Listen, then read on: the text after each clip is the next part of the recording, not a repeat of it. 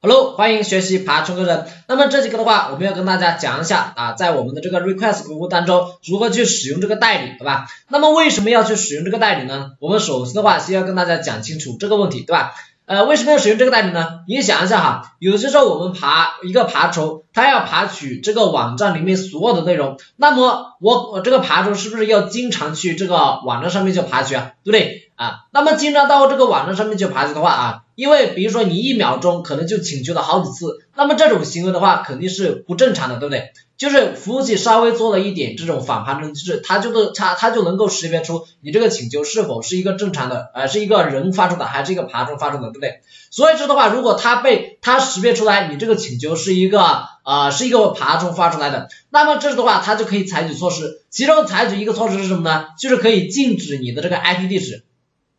就是现在，如果你在你的电脑上面啊，向某个服务器发送一个请求啊，发送一百次请求，那么这一百次请求里面。这个 IP 地址都是同一个 IP 地址，就是你现在啊，你你你现在用那个宽带的那个外网的那个 IP 地址啊，那个外网的 IP 地址啊，所以这时的话，我们呃就就需要去解决这个问题，对吧？就是说，万一你这个 IP 地址就是你自己的这个真实的 IP 地址被封掉了，被那个啊目标服务器被它禁掉了，那么这时候的话，你这个爬虫是不是就进行不下去了吗？对不对？这时的话，我们就应该要去使用这个代理啊。那么我们再去讲解这个代理之前，我们首先的话，先来跟大家介绍介绍这个代理它的这个原理，好吧？原理也是非常简单。来，我们这个地方来打开这个图来看一下啊。好，假如现在这个地方是你的那个爬虫啊，之前的话你是按照这种啊非常啊那个直接的方式去请求这个目标服务器，对不对？然后目标服务器再将那个数据返回给你啊。那么因为你现在你现在是什么呢？你现在已经被这个目标服务器啊认为你这个请求是一个爬虫了。那么这时候目标服务器就将啊你的就将识别出你这个 IP 地址是一个呃爬虫的 IP 地址，那么的话它就可以返回一个错误的数据给你啊就可以返回一个错误的数据给你，比如说它就返回一个请稍后再试，或者是返回啊你访问的太频繁，请稍后再试，对不对？那么这时的话啊你再再去采用这种再去走这条路的话是肯定走不通的，这样的话我们就必须要采取另外一种措施，就是使用这个代理啊。代理的话是这样的啊，就是我去请求这个目标服务器上面的这些数据，我不直接去请求，我是怎么去请求呢？我是先将这个请求发送给这个代理服务器啊，那么代理服务器接收到这个请求以后，它再将它再什么呢？它再向目标服务器发送一个请求。目标服务器发出这个接收到这个请求以后啊，他就说哦，原来你是这个人发出来的啊，不是刚刚那个爬虫发出来的，对不对？那么这样的话，他就可以将正确的数据返回给这个代理服务器。那么这个代理服务器的话，再将这个什么呢？再将这个数据返回给这个爬虫。那么这样的话，爬虫是不是就又可以啊接收到这个正常的数据了？对啊，就是说经过一个中间的一个这样的东西啊，经过中间的东西，那么目标服务器的话就不能识别出你这个请求到底是否是由这个爬虫发出来的，对不对？好啊，那么可能有的同学就会想是吧，老师，你这个地方使用这个代理服务器不是也一样吗？如果爬的次数过多了，那么这个目标服务器也能够识别出这个代理服务器是一个那个是一个爬虫发出来的，对不对？好，那么我们确实哈，这个也是一个问题，但是没有关系啊，因为代理服务器的话非常便宜，我们可以什么呢？呃，你到网上面去买啊，到网上面去买，呃，基本上好像是呃十块钱或者多少钱，十块钱啊就有。呃，就有一个是有上万个 IP 地址啊，就有上万个代理服务器的 IP 地址啊，所以这的话，我们即使这一个 IP 地址被识别了，那么我们接下来再来换一下另外一个 IP 地址，不就可以了吗？对不对？所以的话哈，这个代理服务器的话不是固定的啊，一般的话都是经常变化的啊，经常变化的啊啊，那么我们就是啊一个这样的模式啊，一个这样的模式，好吧？好，这节课我们再来跟大家讲一下哈，就是在这个 request 库当中，我们如何去使用这个代理啊？使用这个代理非常简单啊，就是在使用在 get 或者 post 这个请求的时候，我们给它传递一个参数，叫做。P R O X I X I E S process 啊，那么这个里面的话是一个字典的形式啊，一个字典的形式，然后这个字典的那个 key 啊，就是代表的是你那个请求的范围啊，后面这个的话就是你请求你的那个 IP 地址相关的，不是你那个代理服务器的一些呃相关的信息，比如说这个 IP 地址后面跟个冒号，再跟上这个端口号啊，再跟上这个 IP 呃那个代理服务器的端口号，好吧？好，那么接下来我们来做个测试，好吧？好，来打开一下我们的这个呃 PyCharm，这地方我新建好了一个文件叫做 demo 三点 py，那么我们就在当中当中跟他讲啊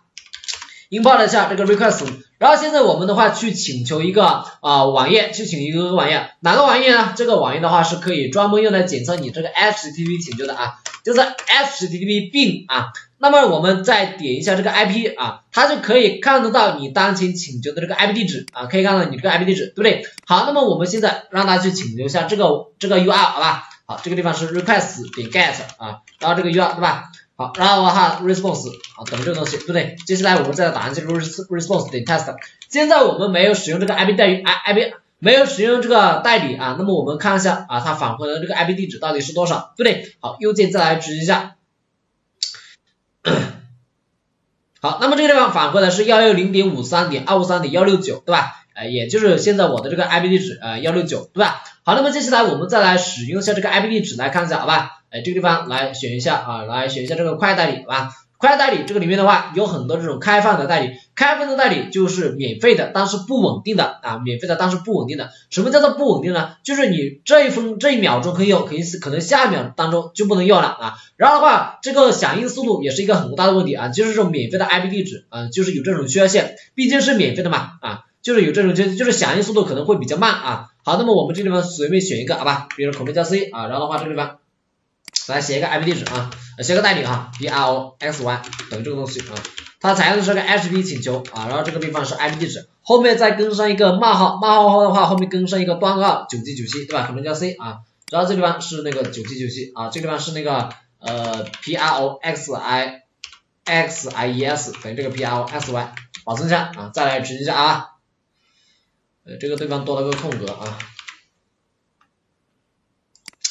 好来看一下啊。现在因为呃使用这个代理，现在使用这个代理哈，就先相当于是什么呢？你这个请求先要发送这个代，先要发送给这个代理服务器啊，说的话这个速度可能就会比较慢了啊，毕竟这个代理的话也是一个免费的，对吧？也是一个免费的啊。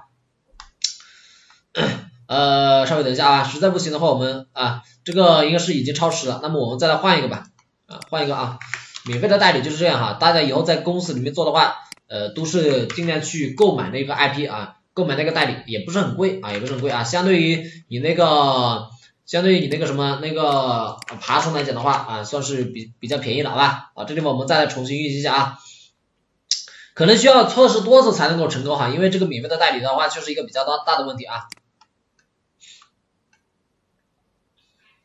购买那个 IP 的话哈，购买那个 IP 的话，它会给你提供一个这样的呃 APP key 和一个 A APP secret。然后的话，你通过那个 A P P Key 和 A P P Secret，你就可以去向它的这个服务器去请求啊那个啊那些 I P 地地址啊，它这个 I P 地址的话，这些的 I P 地，如果你是购买的 I P 地址哈，这些 I P 地址它不是呃它不是什么呢？它不是马上在这个地方存在的，你需要通过接口的方式从它这个啊往从从它这个接口上面去请求，好吧？哎，比如说这个地方十天啊十块钱一天，对吧？就可以那个一次呃一次最多可以提取呃就就。每天啊，每天可以累累计提加两两两万加个 IP 地址，对吧？所以的话是非常划划算的啊啊，这地方又又超时了是吧？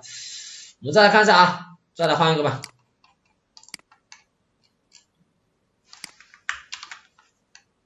来换一下这个吧，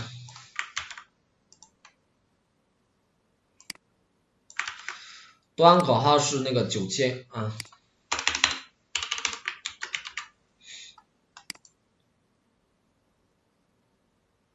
直接直接报错了啊，那么我们就不试啊。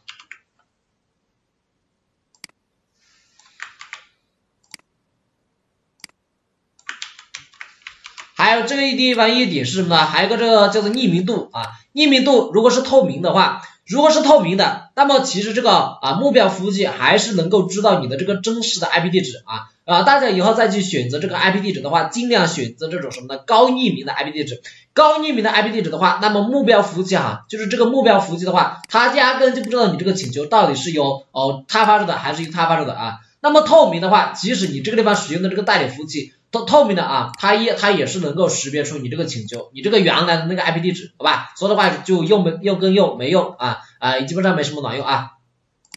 又又尝试连接了啊，哎，这就比较大了，我们再来换一个吧。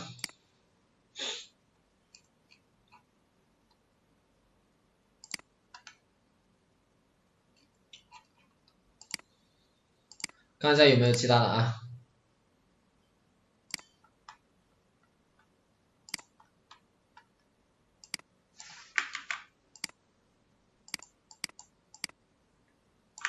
端口号是这个二九幺四八啊。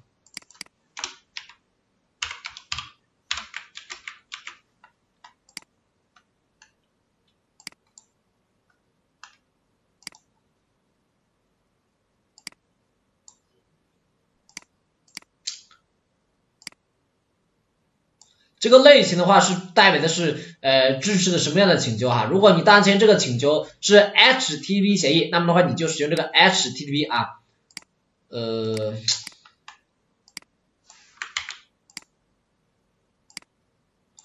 端口号是三八六六幺对吧？三八六六幺，哎，大家看一下，这个太不给面子了啊，可以了是吧？可以了啊，现在的话是不是就马上就可以请求回来了？看到没有？